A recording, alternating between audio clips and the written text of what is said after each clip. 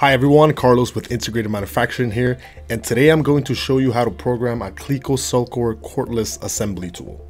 Cleco Cellcore is a versatile, transducerized cordless assembly tool where users can program up to 10 different rundown strategies directly in the tool.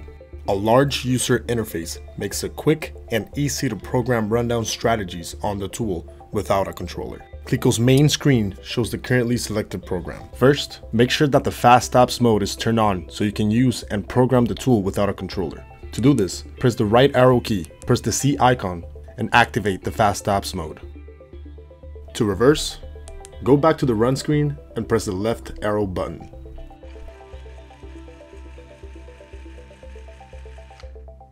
To edit rundown programs, press the right arrow key and select the C icon by pressing the check button. Here, you can see a list of all the rundown programs. You can have up to 10 different rundown programs per tool. Select a rundown program to edit. The wrench option allows you to change between torque and angle settings. To go back, press and hold the left arrow button. The bullseye with the arrow is the torque target. Here we can change the value to any torque target that we need. Different Cellcore models have different min and max torque targets. I will use the max target on this pistol which is 4 newton meters. The batch display allows you to change the number of tightening positions or screws tightened in the program. You can also edit the tool's speed by selecting the RPM icon. I am going to use 1100 RPM for this rundown program. Other advanced settings like min and max torque, angle, and final speed can be edited by pressing the advanced button.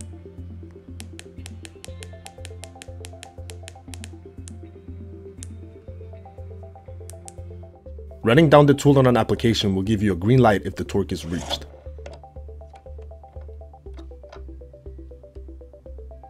Rundown data will be displayed on the screen.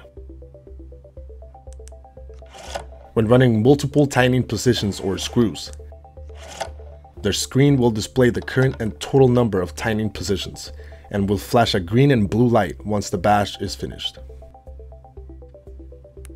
To change between rundown programs, create a new rundown program with different rundown parameters, and return to the run screen.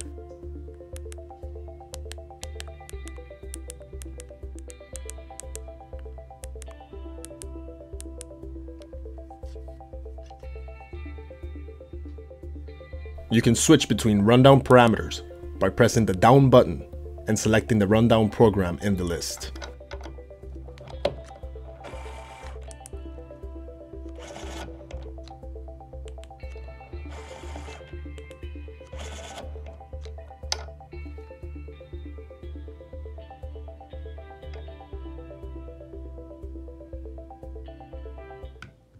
Have additional questions? You can reach out to us at 800 808 7168 or you can email us at sales at intmfg.com.